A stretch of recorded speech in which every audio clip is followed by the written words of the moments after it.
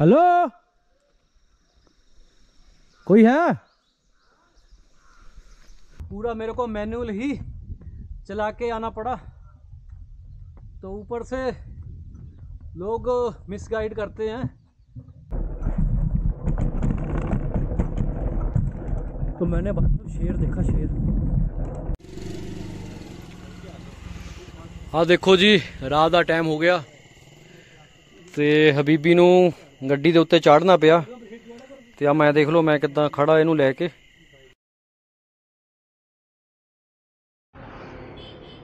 ਅੱਜ ਜੀ all India ride ਦਾ ਡੇ ਹੈਗਾ 4 तो मैं जी इस वक्त हूँ नंगल में मैं जा रहा हूँ अ, बाबा बालकनाथ सोच रहा हूँ मैं अ, जो किश्ती होती है किश्ती में अपनी हबीबी साइकिल को रख कर एक तो शॉर्ट पड़ेगा और दूसरा कुछ एडवेंचर भी होगा। सबसे पहले मुझको पास बनाना पड़ेगा। तो बाखड़ा डैम को जाने के लिए पास बनाना पड़ता है। मेरा एम है जी पोल्यूशन फ्री धरती को रखना। जो मैं एम लेके चला हूँ अपनी फैट ई बाइक के साथ। अब मैं ऑल इंडिया टूर पे निकला हूँ। तो उसकी शुरुआत करूँगा मैं जो धार्मिक स्थल है बाबा बालकनाथ जी। और ये जो पीछे वाला रास्ता है ना, ये जाता है बिबोर साहब गुरुद्वारा। आपने मेरे पिछले वीडियो में देखा होगा, जिन्होंने नहीं देखा तो वो मेरी मनीकरण वाली जो यात्रा है हिचाइकिंग वाली, उसमें देख सकते हैं। तो ये नया नंगल है नया नंगल से अब हम लेफ़्ट साइड जाएँगे बाखड़ा डैम को, और नंगल सिटी को भी यही रास्ता जाता है।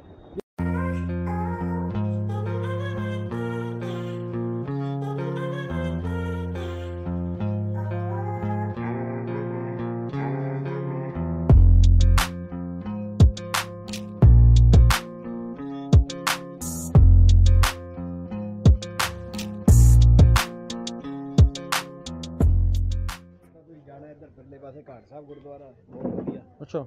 ਇੱਧਰੋਂ ਜਾਓ। ਮੈਂ ਵੈਸੇ ਜਾਣਾ ਉਧਰ ਨੂੰ ਡੈਮ ਉਧਰ ਵੱਲ ਨੂੰ। ਡੈਮ ਨੂੰ ਜਾਣਾ ਨਾ। ਬਾਬਾ ਬਾਲਕਾਂ ਨੂੰ ਜਾਣਾ ਮੈਂ। ਡੈਮ ਨੂੰ ਬਾਅਦ ਚੋਂ ਚੱਲਦੇ ਹੋ। ਹਾਂ। ਪਹਿਲੇ ਇੱਧਰ ਡੈਮ ਨੂੰ ਸਿੱਧਾ ਜਾਂਦੇ। ਹਾਂ। ਅੱਜ ਕੋ ਟਾਈਮ ਕਿੰਨਾ ਹੋ ਗਿਆ?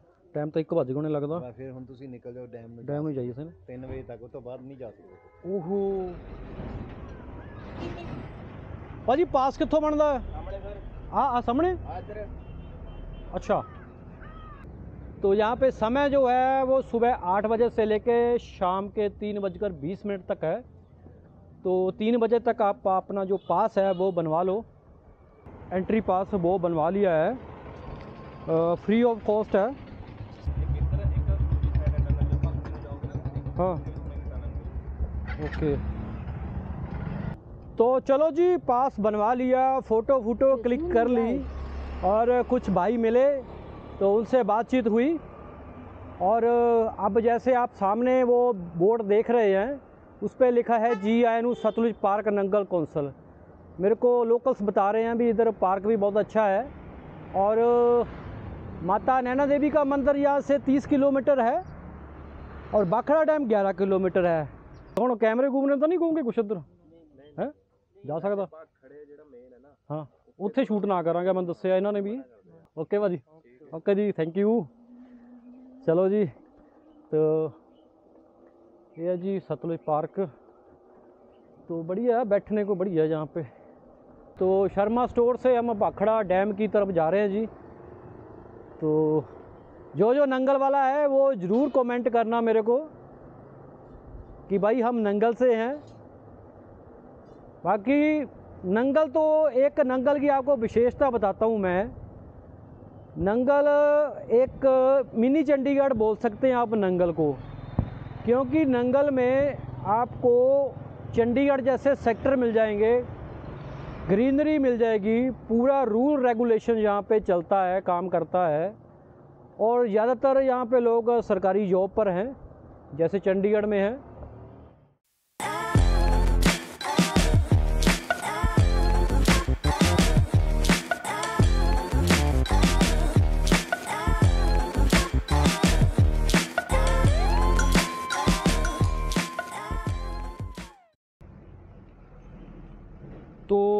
यहाँ से मैंने पास बनाया था, वहाँ से कोई एक किलोमीटर दूर आपको ये पास की एंट्री करवानी होती है चेक करवाना होता है कि आपके पास पास है या नहीं है। चलते हैं, चलो हसीन वादियाँ का लुत्फ़ लेते हैं। तो मैंने भी अपनी जो एंट्री है यहाँ पे करवा ली है। और आधार कार्ड जो मस्ट है, आधार कार्ड तो ज़रूरी चाहिए।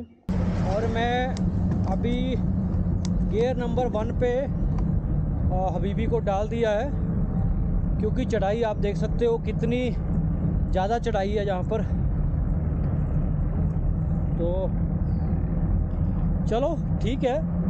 अब आगे जाकर ही जहाँ परमिशन मिलेगी, वहीं बात करूँगा आपसे। तो मेरे को यहाँ से आठ नौ किलोमीटर, जो ऐसे ही सीधी चढ़ाई है, बाखड़ा डैम की नंगल से। तो ये मेरे को चढ़नी है। यहाँ पर इतनी शांति है ना, दिल करता है, यहीं पे टेंट लगा लूँ। लेकिन यहाँ पर रहने की परमिशन नहीं है। और इस शांति को यहाँ पर अलविदा कहकर मुझको यहाँ से 9-10 किलोमीटर और आगे जाना पड़ेगा। तो बाखड़ा टॉप पे आपको ऐसे फ़िश मार्केट मिलेगी। तो चलो फाइनली हम बाखड़ा डैम पहुँच चुके हैं। आ, मुझे थोड़ा सा ये व्यू देखना था। जाने को तो मैं ऊना से भी होकर जा सकता था। लेकिन जो किश्ती के नज़ारे हैं ना अल्टीमेट वो आपको दिखाने हैं। ये डिपू है कच्ची मछली का।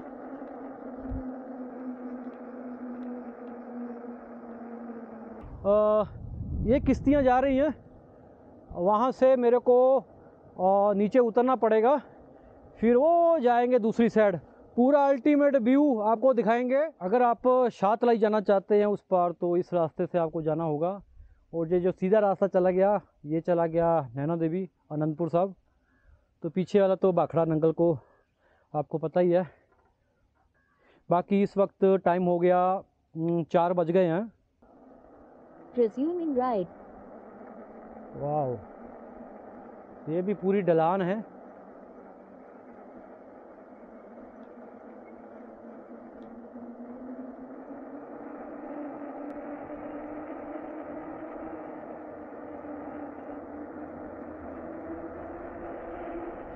ओ भाई साहब अल्टीमेट अल्टीमेट अल्टीमेट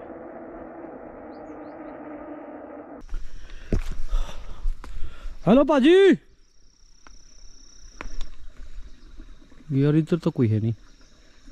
कोई गाँव वाला भी नहीं बता रहा अभी, ये रास्ता है। मेरे को नहीं लगता। हेलो? कोई है? कोई नहीं, यहाँ पे। जहाँ पर कोई नहीं है बताने वाला। कहाँ से रास्ता है?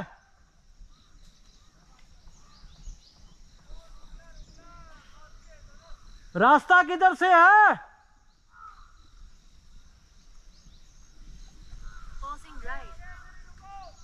ओके, मेरे पास साइकिल है।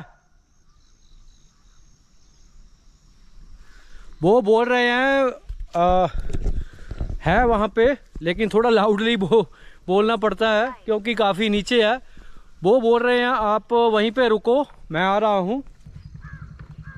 और भैया जी की हाल चाल है? बढ़िया?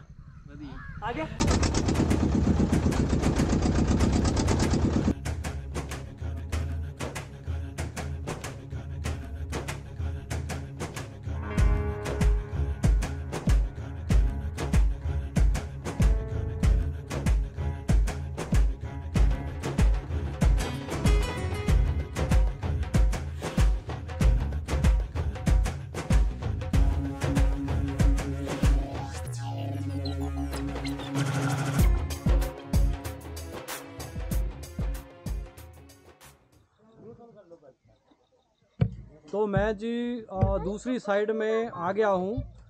ये शिवबोड़ी को रास्ता जाता है। अगर वहाँ से आप नैना देवी साइड से आएँगे तो कश्ती किश्ती से तो फिर आप जाएँगे शातलाई को। तो ये ऐसा रास्ता है और ऐसे आना पड़ता है आप देख सकते हो।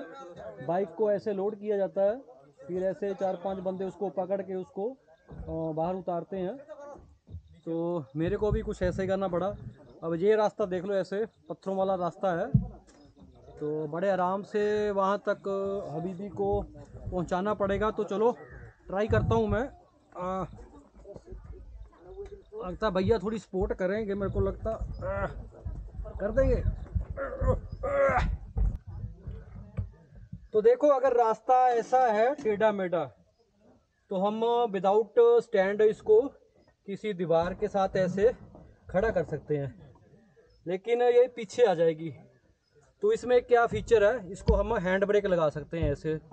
दोनों ब्रेक जो होता है ना, वो ऐसे हैंड ब्रेक लगा देंगे, इससे पीछे नहीं आएगी। ठीक है? अभी ब्रेकों ने इसको पकड़ लिया है। ये इसका फीचर मेरे को बढ़िया लगा। तो चलो, चलते थोड़ा पानी पुनी पीते हैं।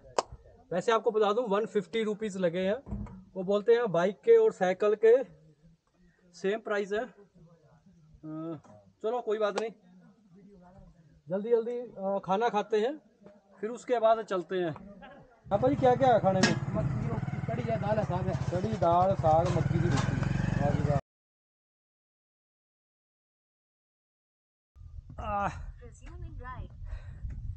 एक तो ये अभी भी अभी ठीक नहीं है। पूरा मेरे को मैनुअल ही चला के आना पड़ा। तो ऊपर से लोग मिसगाइड करते हैं कि भाई रास्ता अच्छा है, इस रास्ते से जाओ। आप खुद ही देख लो कैसा रास्ता है। अगर पता होता ना भाई तो इस रास्ते से मैं नहीं आता। तो आप रास्ता देख सकते हो। बहुत ही गलत रास्ते में आ गया मैं, क्योंकि यहाँ पर कोई कांटा, पत्थर अगर चुभ गया ना तो नानी याद दिला देगा, पूरी रात यहीं पे बैठा रहूँगा मैं। इसलिए भाग रहा हूँ। सारा नीचे से आया। आज के बाद ज़िंदगी में ना, रिस्क नहीं लूँगा। मैं बोलता रहता हूँ, चार बजे चार बजे पहुँच जाऊँगा, चार बजे पहुँच जाऊँगा। पता नहीं लोमबड़ था, पता नहीं शेर था। नीचे से क्या क्या करता निकला ਆ ਦੇਖੋ ਜੀ ਰਾਤ ਦਾ ਟਾਈਮ ਹੋ ਗਿਆ ਤੇ ਹਬੀਬੀ ਨੂੰ ਗੱਡੀ ਦੇ ਉੱਤੇ ਚਾੜਨਾ ਪਿਆ ਤੇ ਆ ਮੈਂ ਦੇਖ ਲਓ ਮੈਂ ਕਿੱਦਾਂ ਖੜਾ ਇਹਨੂੰ ਲੈ ਕੇ ਤੇ ਇਹ ਬਾਈ ਉਹਨਾਂ ਨੇ ਹੈਲਪ ਕੀਤੀ ਆ ਕਹਿੰਦੇ ਚਲੋ ਮੈਂ ਸ਼ਾਤਲਾਈ ਤੱਕ ਜਾਣਾ ਹੈ ਤੇ